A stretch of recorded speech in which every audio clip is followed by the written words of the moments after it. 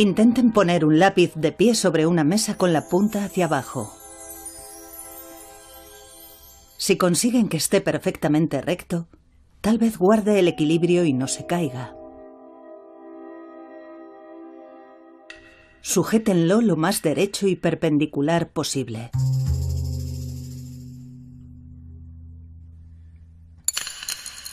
No es tan fácil. Por muy recto que coloquemos el lápiz, siempre se acaba cayendo.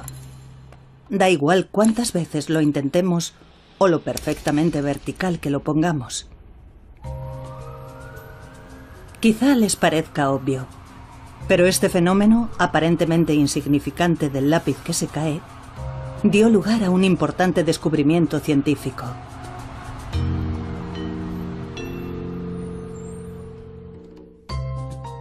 El Premio Nobel de Física de 2013 puso el bosón de Higgs en su punto de mira. Cuando se confirmó la existencia del bosón de Higgs en unas gigantescas instalaciones experimentales, se proclamó como el descubrimiento del siglo. Siempre nos hemos preguntado qué ocurre en el firmamento y hoy hemos logrado un notable avance. Comprendemos mucho mejor nuestro universo. Es, por así decirlo, el ingrediente que faltaba. El comienzo o el fin de una era.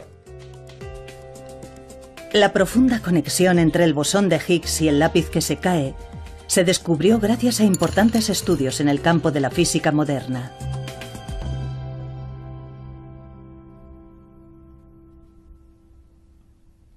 Durante más de un siglo, los físicos, empezando por Einstein, se han cuestionado de qué está hecho el universo.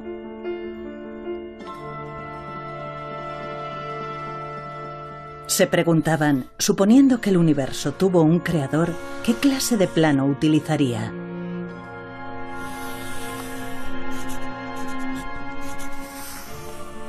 Su objetivo era descubrir ese plano del universo y usar la lengua de las matemáticas para expresarlo por medio de una fórmula. Hasta el día de hoy los físicos han conseguido crear fórmulas para expresar distintos fenómenos naturales.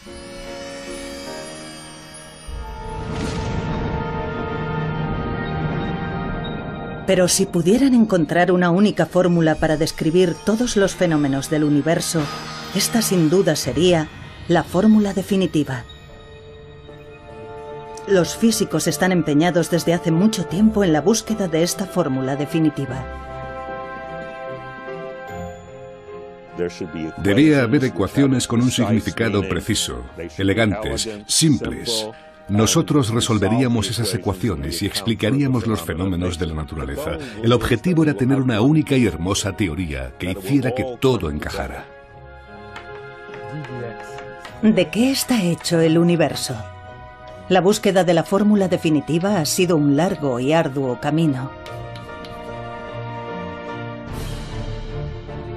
Los físicos se han enfrentado a innumerables dificultades en la búsqueda de una fórmula perfecta y bella que sea digna de elogio. Un importante descubrimiento dio lugar a un gran hallazgo.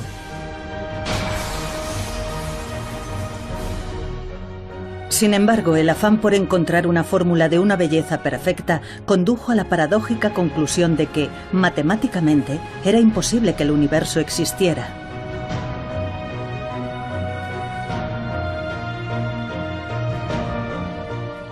Y así es como llegamos a la idea de los lápices que se caen. Pensar que en el mundo real la belleza perfecta estaba destinada a venirse abajo condujo al descubrimiento del bosón de Higgs y abrió el camino para encontrar la fórmula definitiva. Pero dicha fórmula demostró ser esquiva. Esta es la historia de la lucha centenaria en la que se embarcaron físicos pioneros en su afán por descubrir de qué está hecho el universo y qué fuerzas lo gobiernan. La fórmula definitiva.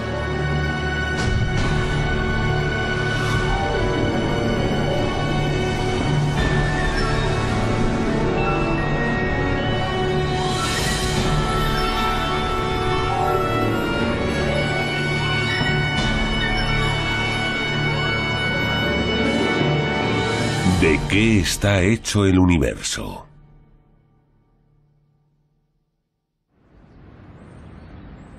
Tal vez les sorprenda saber que a lo largo de los 100 últimos años, los físicos han estado muy cerca de descubrir la fórmula definitiva.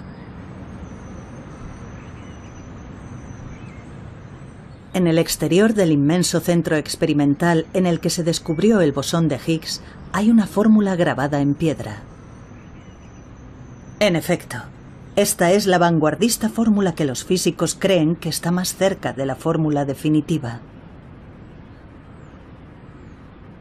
Puede parecer imposible de entender, pero no se preocupen. Escrita con más detalle, la fórmula es así. La primera línea es una fórmula que describe las propiedades de las unidades de materia más pequeñas conocidas en el mundo y que reciben el nombre de partículas elementales. Estas partículas elementales se dividen en cuatro tipos, Veamos dónde se pueden encontrar estas partículas elementales. Al ser las unidades de materia más pequeñas, se aprecian a la máxima escala microscópica. En primer lugar están los electrones que orbitan dentro de un átomo. Probablemente estemos más familiarizados con ellos. Seguidamente hay dos tipos de partículas elementales conocidas como quarks que forman el núcleo en el centro del átomo. Y por último están los neutrinos, unas partículas caprichosas que escapan del núcleo de vez en cuando. ¿Qué causa que estas partículas elementales permanezcan dentro de los átomos o que escapen de ellos? La respuesta reside en estas tres líneas. Pero volviendo al átomo, lo que atrae a los electrones al núcleo es la fuerza electromagnética. La unión de los dos tipos de quarks que forman un núcleo es lo que se conoce como una interacción nuclear fuerte. Y lo que causa que los neutrinos salgan del núcleo es una interacción débil.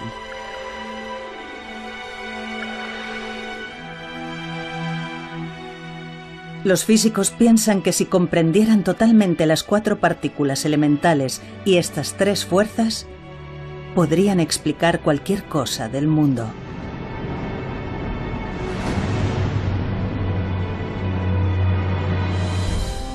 Las dos últimas líneas hacen referencia a la existencia del bosón de Higgs. Más adelante sabremos qué papel juega esta partícula.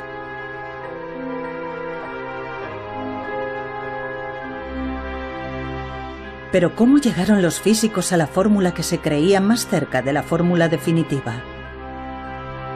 Echemos una ojeada a su épico recorrido que abarcó 100 años.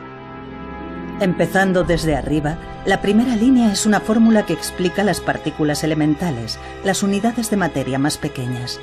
Detrás de esta fórmula se esconde la historia de un hombre que insistía en que las fórmulas debían ser siempre bellas.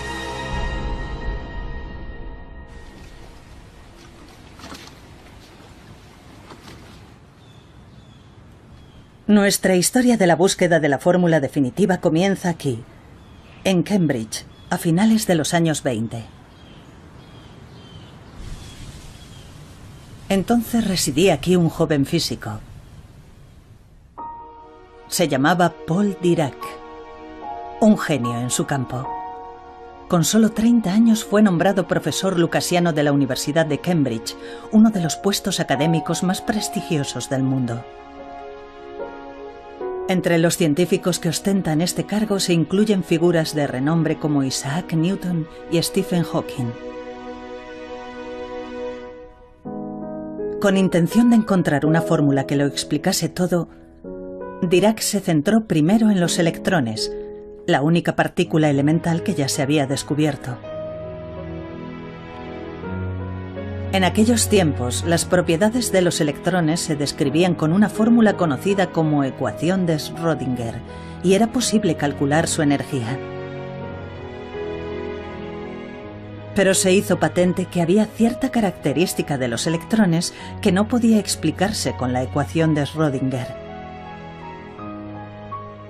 Se trataba del hecho de que al igual que la Tierra, los electrones giraban sobre su propio eje y además tenían propiedades parecidas a un imán.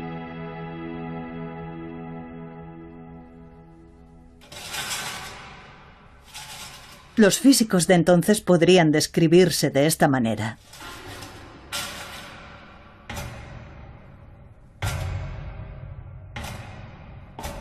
Armados con los mejores conocimientos disponibles, trataban de crear la fórmula correcta para las partículas elementales, pero se topaban con un muro impenetrable.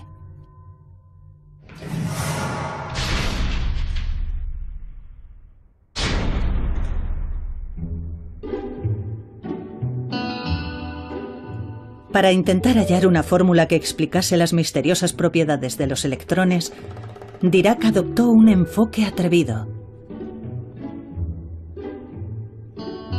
En aquella época los científicos usaban resultados de experimentos y observaciones para idear nuevas fórmulas. Dirac, en cambio, decidió guiarse por su sentido de la estética.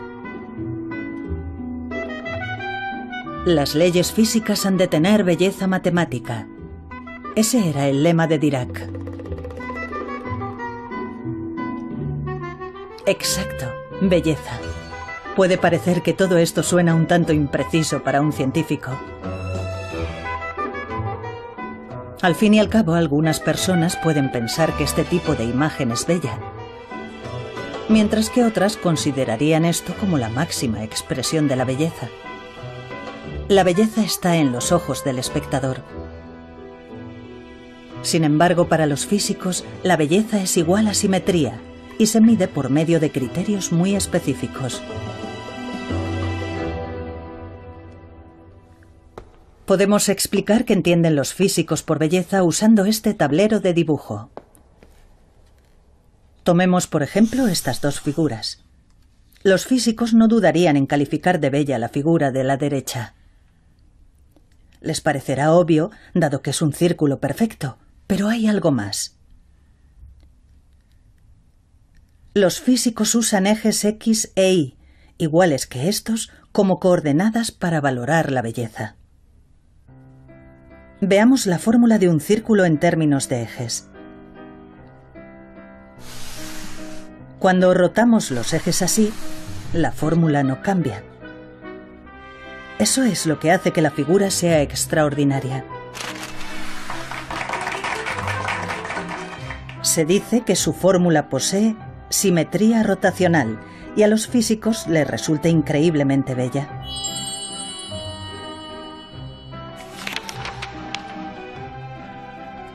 A los físicos les entusiasman también los patrones con rayas como este. Eso es debido a que, aunque los ejes se muevan, la fórmula que describen las rayas no cambia.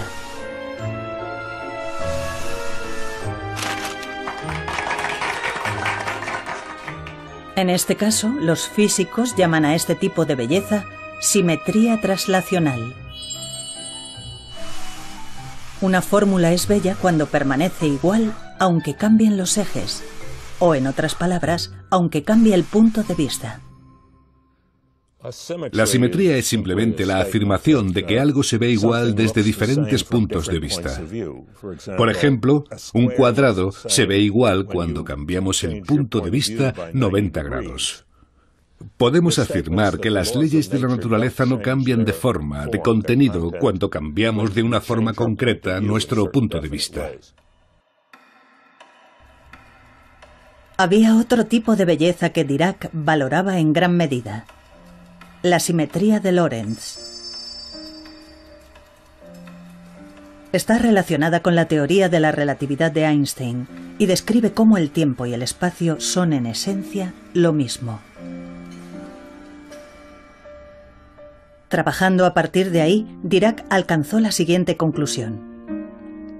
Si había algo parecido a un mapa del universo, su belleza sería indudablemente perfecta, es decir, exhibiría diferentes tipos de simetría.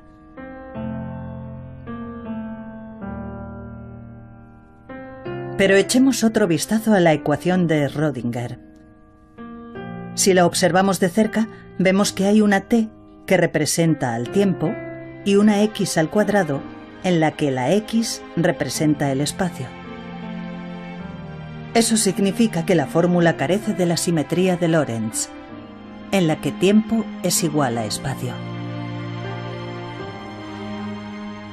Como resultado de ello, si se ve desde un punto de vista diferente, la fórmula cambia de forma significativa.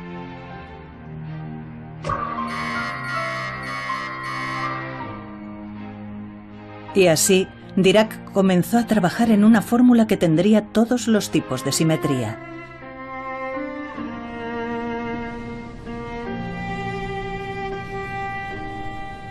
Se encerró en su estudio durante tres meses y se aisló del mundo exterior.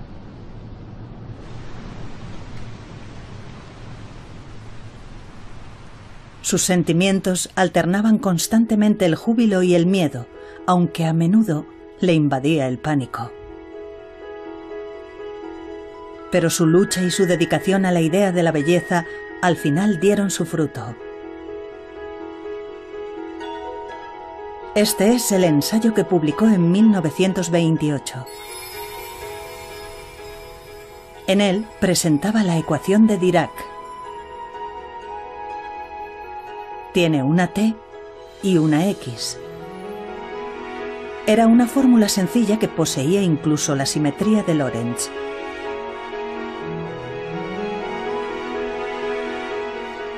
La ecuación era notablemente eficaz y lograba explicar con precisión las misteriosas propiedades de los electrones, incluyendo su movimiento y magnetismo.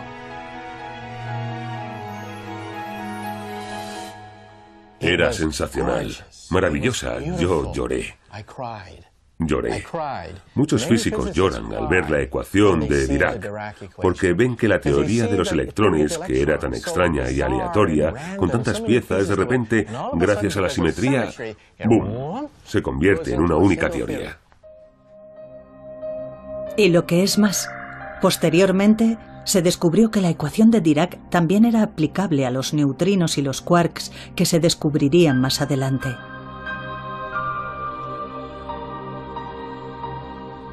Al incorporar todos los diferentes tipos de simetría, se había descubierto por fin una fórmula que explicaba perfectamente las propiedades de las partículas elementales.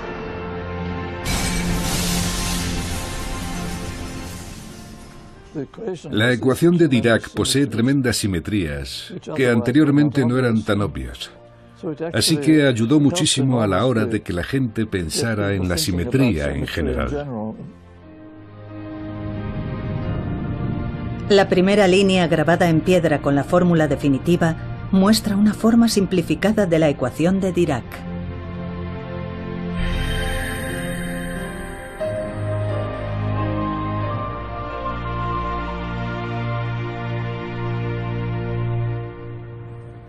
¿De qué está hecho el mundo y qué fuerzas lo gobiernan?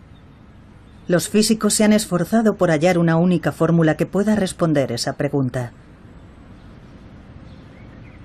El siguiente desafío al que se enfrentaron fue encontrar fórmulas para las tres fuerzas que unían a las partículas y las movían.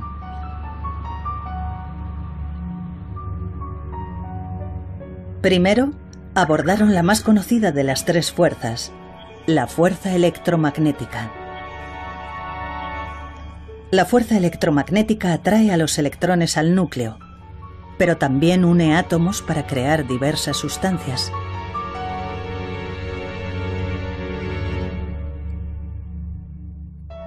En los años 30, un físico de la costa oeste de Estados Unidos se propuso encontrar la fórmula de la fuerza electromagnética. Ese físico era Robert Oppenheimer, que más tarde sería conocido como el padre de la bomba atómica. Se había ganado un merecido reconocimiento en una amplia variedad de campos de investigación. Conocía todos los aspectos de la física. Tenía un poder asombroso para sintetizar y comprender lo que ocurre. Podemos describir el enfoque adoptado por Oppenheimer y sus coetáneos de la siguiente forma. Dirac había llegado anteriormente a su fórmula de las propiedades de las partículas elementales, incorporando la simetría de Lorentz al arsenal de un físico.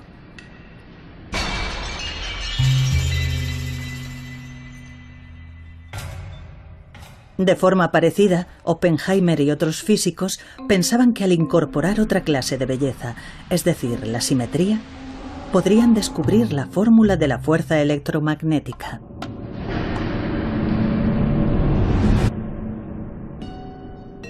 Oppenheimer y sus coetáneos centraron su atención en el cuarto tipo de simetría, la simetría gauge. La simetría gauge es un concepto complicado. En pocas palabras, es similar a la simetría rotacional. Describe una clase de belleza en la que si hubiera un transportador en cada punto del espacio que midiera la magnitud del electromagnetismo, la fórmula permanecería igual aunque cambiara el ángulo.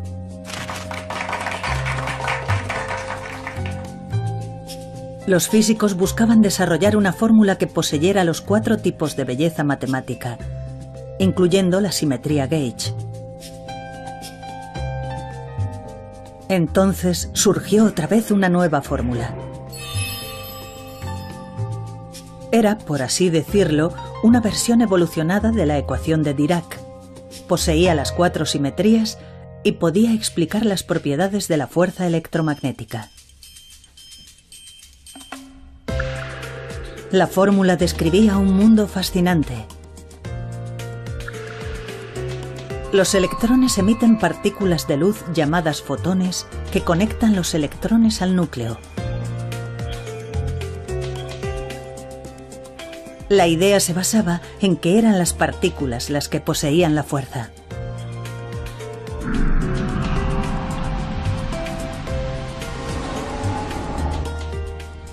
La fórmula que el nuevo tipo de simetría ayudó a crear explicaría el misterio de la composición del universo. Sin embargo, oculta yacía una verdad inesperada. Al descubrir que cierta cuantía física era calculada e infinita, todo dejó de tener sentido. Cuando se realizaron los cálculos, los resultados indicaban que la energía de los electrones era infinita, lo que significaba que la materia no podría existir.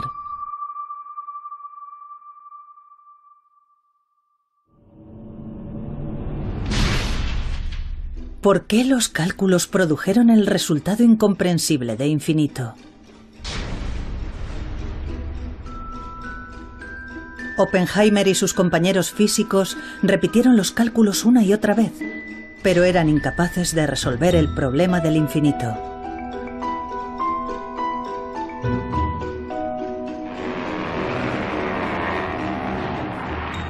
Entretanto, el mundo estaba sumido en el caos.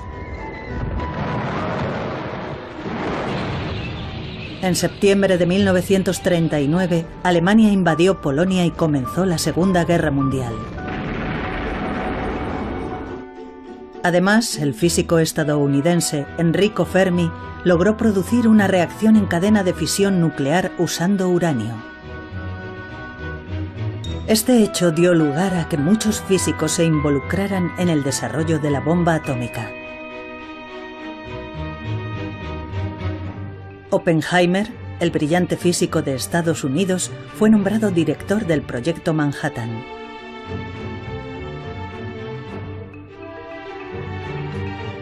Varios físicos se reunieron en Los Álamos, en el estado de Nuevo México.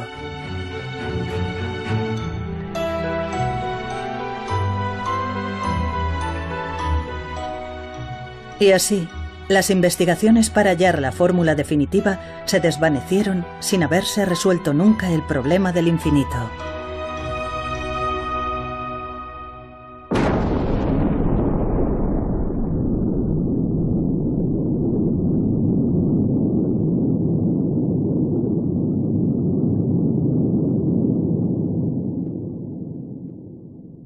La bomba atómica mató a cientos de miles de personas. La prensa apodó a Oppenheimer padre de la bomba atómica. ya nunca volvería a la vanguardia de las investigaciones sobre la fuerza electromagnética.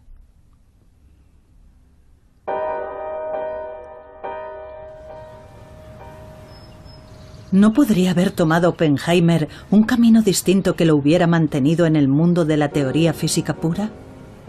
En 1948, mientras se debatía con su conciencia después de la guerra, recibió una carta de una fuente insospechada. La carta estaba firmada por Shinichiro Tomonaga, un físico japonés del que jamás había oído hablar. Tomonaga afirmó, Durante la guerra he encontrado la forma de resolver el problema del infinito. No obstante, no se me permitió la oportunidad de presentar mis hallazgos al mundo occidental. A Oppenheimer le conmovió aquel mensaje inesperado que le llegó desde un país que había sido víctima de la bomba atómica que él había diseñado.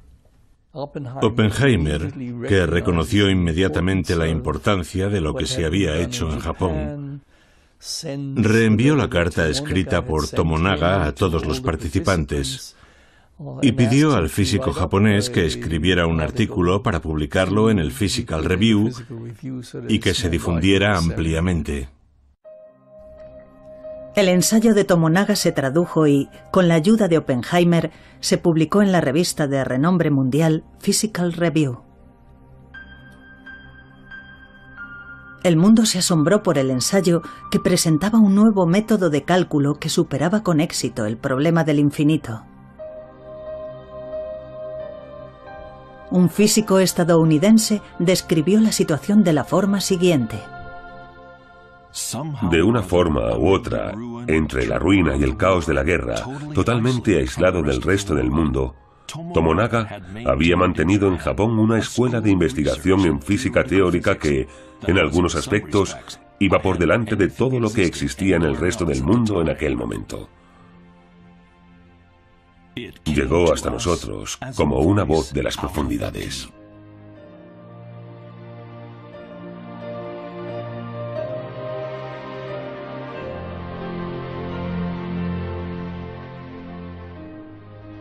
Casi al mismo tiempo, dos físicos estadounidenses presentaron una teoría equivalente a la de Tomonaga. En el ambiente de libertad posterior a la guerra, el problema del infinito se resolvió rápidamente. La fórmula desarrollada por Tomonaga y algunos otros físicos dio lugar a unos cálculos cuyos resultados coincidían con los hallazgos experimentales a un nivel asombroso. Un ejemplo de ello es la fuerza del magnetismo de los electrones. Esta es la figura producida por la fórmula que finalmente creó la búsqueda de la belleza.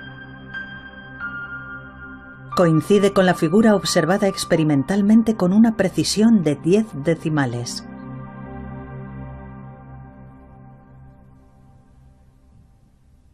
Permaneciendo fiel a la belleza de la simetría, se puede crear la fórmula correcta. Este principio ideado por Dirac ayudó a descubrir la fórmula de la fuerza electromagnética.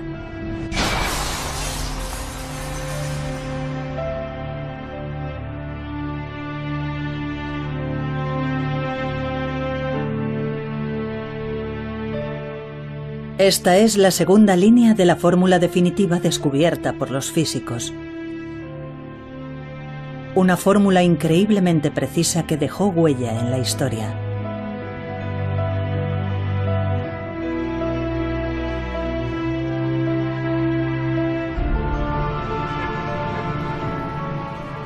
Y así fue descubierta por fin la fórmula de la fuerza electromagnética. Pero a principios de los años 50, los físicos que se esforzaban por descubrir la fórmula definitiva volvieron a sufrir un inesperado parón.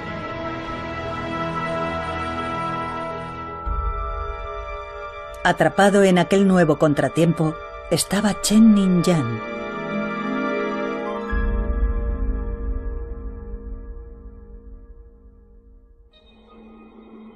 Como recordarán, existen tres fuerzas que gobiernan los movimientos y la conducta de las partículas elementales.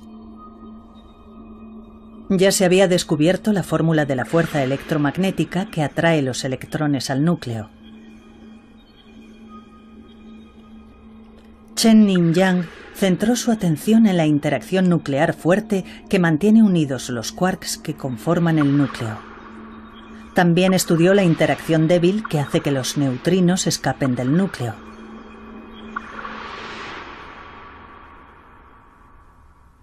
De nuevo fue la belleza de la simetría la que guió a Yang a la hora de buscar fórmulas para estas fuerzas.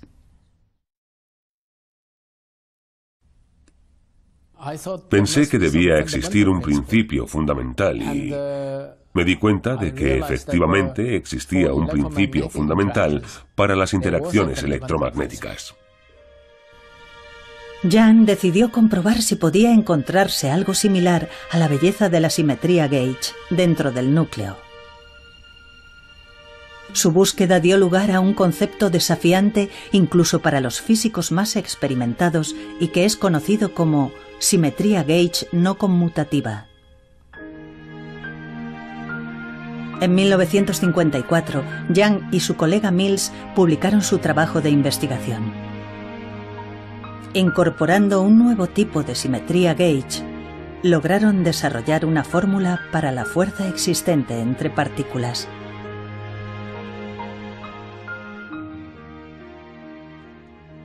Era como las ecuaciones de Maxwell, solo que más elegante y con un tipo de simetría más ajustada. Young y Mills habían dado un paso más en la electrodinámica cuántica.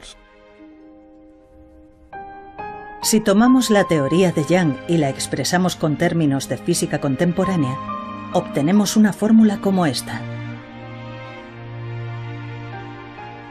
Ahora, los físicos tenían lo que creían que eran los componentes que más se aproximaban a la fórmula definitiva, salvo por la parte relacionada con el bosón de Higgs.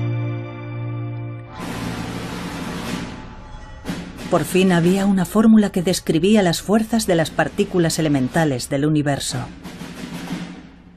Todos los físicos del mundo estaban esperanzados,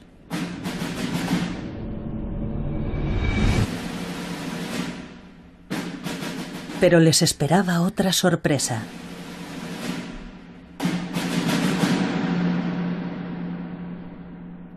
Era paradójico que la masa de las partículas con interacciones fuertes y débiles fuera cero, sin importar cómo se calculara. Solo los fotones se sabía que carecían de masa. Todas las demás partículas, como la W y la Z, se suponía que tenían masa. Se sabía que el fotón no tenía masa. Se sabía que no tenía masa desde principios del siglo XX. Cuando se realizó este estudio teórico, la W y la Z aún no habían sido descubiertas, pero estaba claro que al no ser descubiertas debían ser muy pesadas. La fórmula de Young era realmente bella. No obstante, sugería que las partículas portadoras de fuerza no tenían masa, por lo que se apartaba claramente de la realidad. Los físicos se habían volcado en la búsqueda de la belleza perfecta. Pero el problema de la masa cero les planteaba una paradoja ineludible. Además, a los físicos les aguardaban otras sorpresas.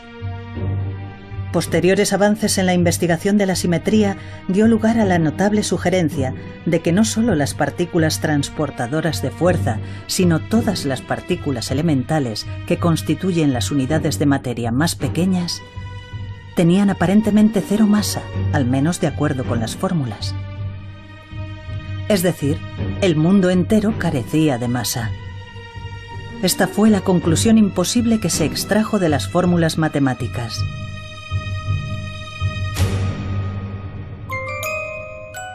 Si todas las partículas elementales realmente carecieran de masa, tendríamos un grave problema. Según los cálculos, los electrones escaparían de los átomos y toda materia se desintegraría. De repente, si todos los átomos hubieran adoptado un estado de perfecta simetría en el que todo tuviera cero masa, habrían salido volando. Todas las partículas saldrían volando a la velocidad de la luz y no habría masa estable ni personas, ni perros, ni gatos, ni ciudades, porque todo estaría siempre en movimiento y no habría materia estable para crear átomos.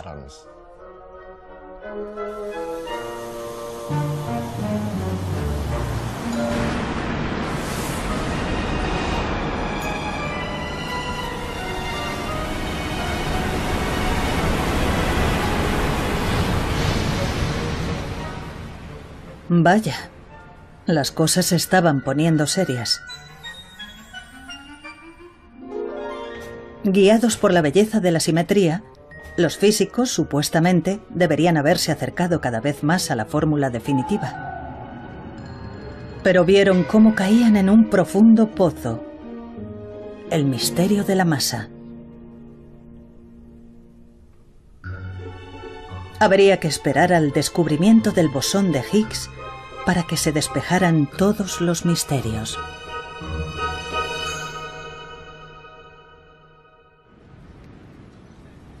¿Cómo afrontar el misterio de la masa que había surgido súbitamente? En los años 60, en Chicago, en Estados Unidos, surgió un tipo de físico completamente nuevo.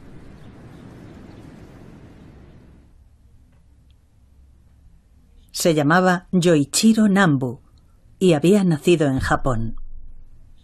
La gente decía de él, Nambu puede ver el futuro. Este físico inconformista consiguió resolver la gran paradoja de masa igual a cero en presencia de belleza matemática. A principios de los años 60, lo que a Nambu realmente más le interesaba era este fenómeno. Exacto. Es el problema del lápiz que se cae que vimos anteriormente. Que un lápiz se caiga nos puede parecer insignificante. Pero fue precisamente este fenómeno lo que ayudaría a Nambu a solucionar el problema de la masa cero. Podemos contemplarlo de esta forma. Digamos que hubiera un plano de un lápiz que se sostiene de pie. El plano nos dice que coloquemos el lápiz verticalmente para lo que es preciso simetría rotacional. ¿Qué pasa si hacemos lo que dice el plano y tratamos de colocar el lápiz de pie? En realidad, la simetría rotacional necesaria para el plano no se puede conseguir. Aunque hay simetría en el plano, esta se pierde en el fenómeno que vemos en la realidad. Este fenómeno recibe el nombre de ruptura espontánea de la simetría, concepto que más tarde le valdría al físico japonés el premio Nobel. A Nambu se le ocurrió que la ruptura espontánea de la simetría también podría hallarse en el plano del mundo natural. Ese fue originalmente el trabajo de Yoichiro Nambu, um, que hay que es posible que haya asimetrías en las leyes de la naturaleza que no son respetadas por los fenómenos físicos. En 1961, Nambu presentó un ensayo sobre interacción nuclear fuerte. Si usamos el lenguaje de la física contemporánea, el ensayo puede resumirse así. Esta es la fórmula que describe las propiedades de la interacción nuclear fuerte. En otras palabras, es un plano de la interacción nuclear fuerte. Con más detalle se ve así. Ahora podemos ver los quarks que sienten la interacción nuclear fuerte. Este plano está diseñado para seguir un tipo de simetría gauge, por lo tanto, la masa de los quarks debe ser cero. Pero como vimos con el plano del lápiz, tenía simetría rotacional. Sin embargo, daba lugar a una realidad sin simetría rotacional. Nambu comprendió que el plano en el que los quarks tienen cero masa debe originarse en una realidad en la que los quarks tienen masa.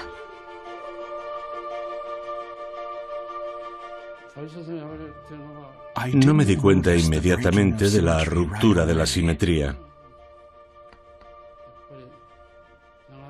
Fue una solución a la que llegué después de pensar mucho.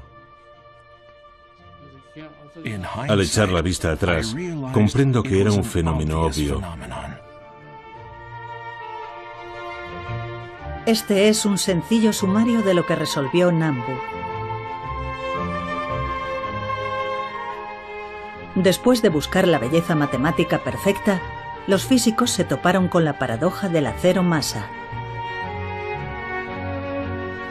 Pero usando el lápiz que se cae como ejemplo, Nambu consiguió demostrar que la belleza perfecta estaba destinada a desmoronarse y por lo tanto dio origen a la masa en el mundo.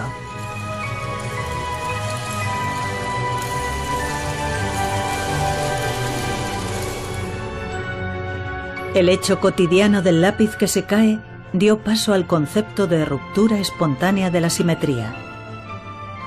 Era un importantísimo descubrimiento que nadie pudo predecir.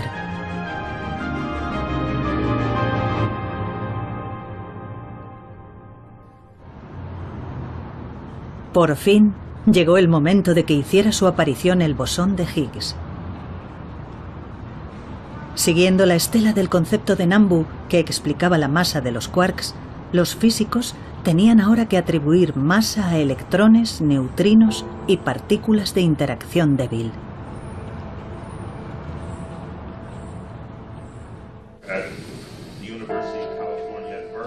Steven Weinberg es profesor en la Universidad de Texas Trabajaba entonces en la idea de usar el concepto de ruptura espontánea de la simetría de Nambu para demostrar que, al igual que los quarks, las demás partículas elementales también tenían masa.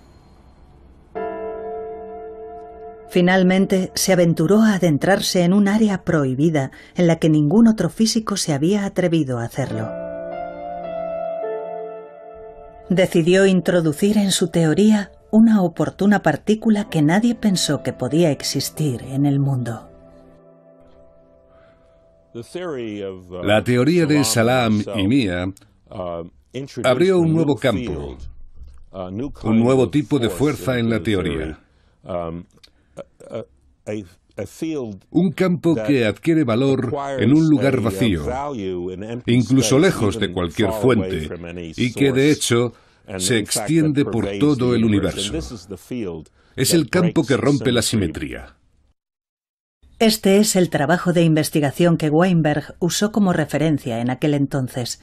Estaba escrito nada menos que por Peter Higgs, que ganó el Premio Nobel de Física en 2013.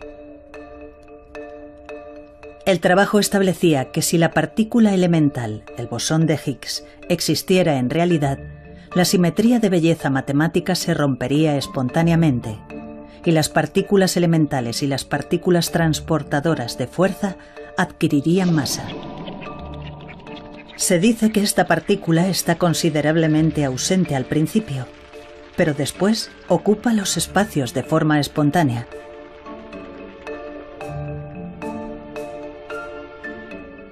Esta idea se basaba en el concepto de Nambu de que la belleza perfecta que inicialmente existe en el mundo se pierde luego espontáneamente.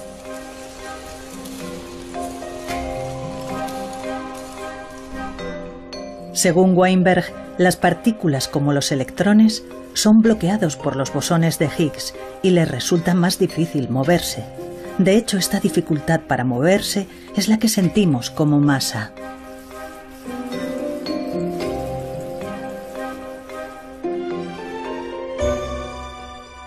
Weinberg presentó su ensayo en 1967.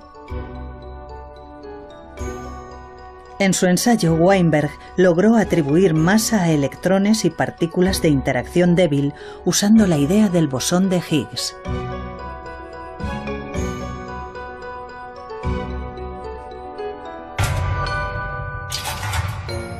A los físicos les había echado para atrás el misterio de la masa pero con la ayuda del bosón de Higgs habían encontrado finalmente un modo de acercarse más a la fórmula definitiva.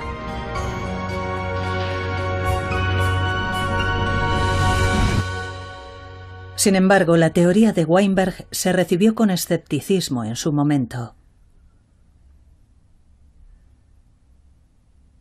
Muchos físicos no podían quitarse de encima la sensación de que la existencia del bosón de Higgs era demasiado oportuna. No es bonito. Bonito es algo que una vez que lo ves, tiene que ser así. Y si lo cambias un poco, ya no está bien. La idea de Higgs no tiene esa propiedad. Yo describo la situación como tener una casa preciosa. Puedes tener una casa preciosa, pero necesitas tener un retrete. El mecanismo de Higgs es como el retrete. El famoso físico Stephen Hawking llegó incluso a apostar en contra de la existencia del bosón de Higgs.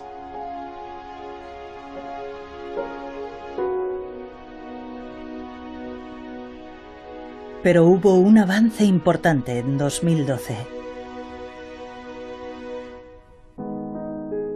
Habían pasado más de 40 años desde que Weinberg presentó su teoría.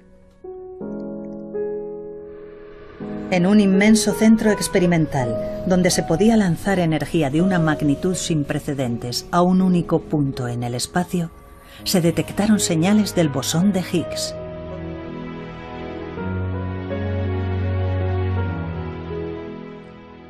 Hoy hemos tenido éxito. Hemos descubierto una nueva partícula, un bosón, probablemente el bosón de Higgs.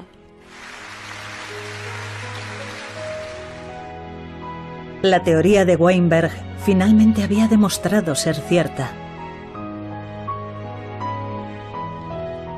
La teoría del bosón de Higgs en la que se había basado también fue reconocida y premiada con el Nobel.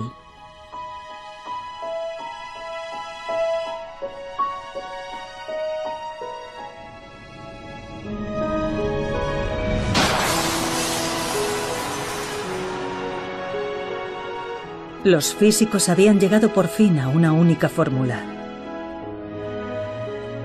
El modelo estándar que explica los cuatro tipos de partículas elementales y las tres fuerzas que conforman el universo estaba finalmente completo. En una esquina del CERN, Organización Europea para la Investigación Nuclear, donde fue descubierto el bosón de Higgs, un monumento conmemora la fórmula que se creía más próxima a la fórmula definitiva. Marcó la culminación del camino recorrido por los físicos a lo largo de 100 años.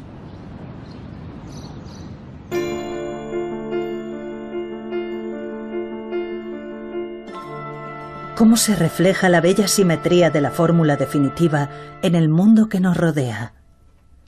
Los físicos comprenden la historia del universo a partir del Big Bang de la siguiente forma.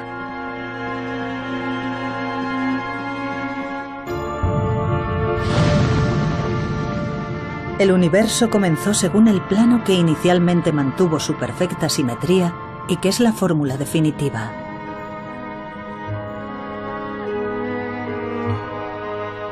En aquel momento, todas las partículas elementales carecían de masa y volaban diseminadas,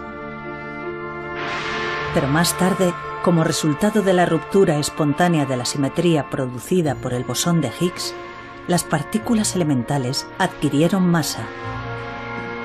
Como resultado de esta masa adquirida, las partículas se unieron para formar átomos. Comenzaron a aparecer estrellas y a crearse las galaxias. Incluso el hecho de que nosotros existamos actualmente en el mundo se cree que ha formado parte siempre de la fórmula definitiva.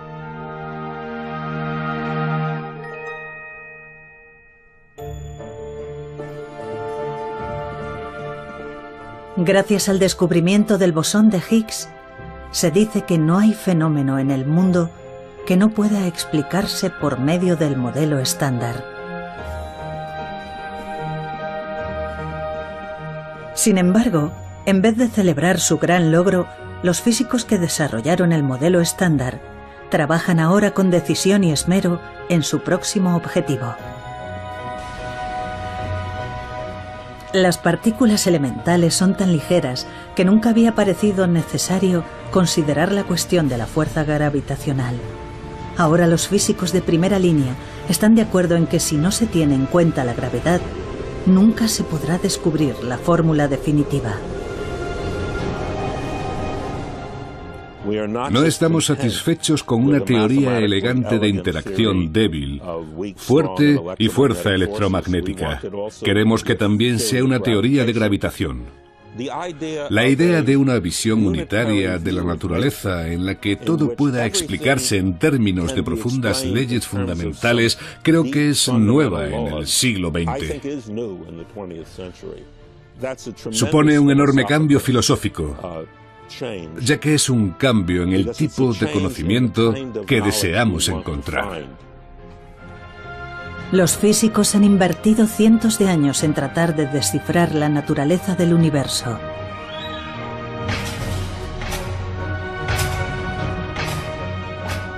Su cruzada en busca de la fórmula definitiva continúa hasta el día de hoy.